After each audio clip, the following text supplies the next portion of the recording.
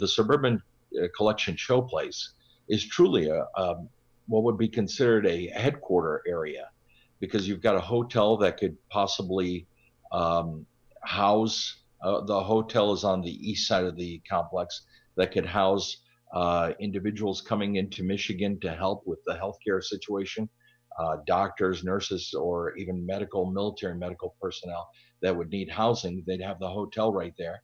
And then you have a, a couple ballrooms in between the showplace and the hotel, which could serve very easily for supply distribution network and uh, maintaining of supplies there for distribution throughout the whole state of Michigan.